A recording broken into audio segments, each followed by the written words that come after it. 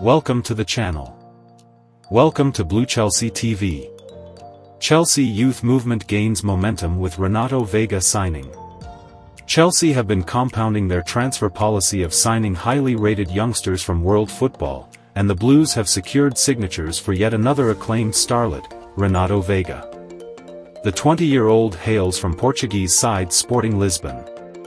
The Verde e Brancos have an excellent reputation for developing players in Europe, though they also have a history of letting promising youngsters slip out of their fingers. From Ricardo Pereira to Santiago Arias to Matheus Pereira to Merih Demiral, there is a long list of players who have succeeded following their departure from José Alvalade Stadium, and Renato Veiga adds to the growing list.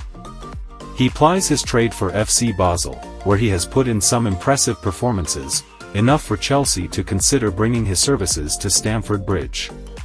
Take a moment to like the video if you are enjoying the content. Subscribe to the channel if you are bumping here for the very first time.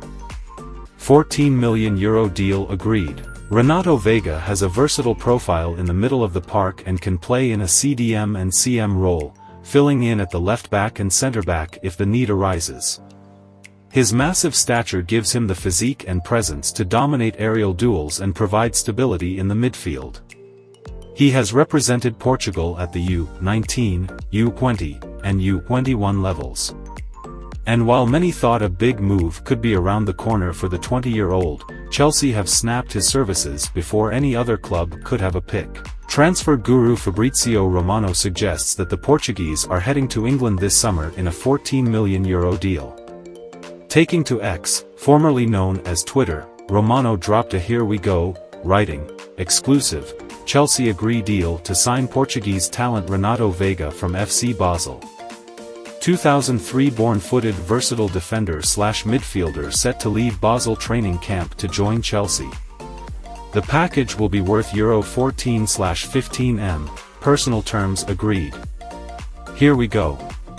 With the services of the Portuguese secured, Chelsea will be looking to sign some marquee players who can help the team in the upcoming season. That's all. Don't forget to like, comment and subscribe.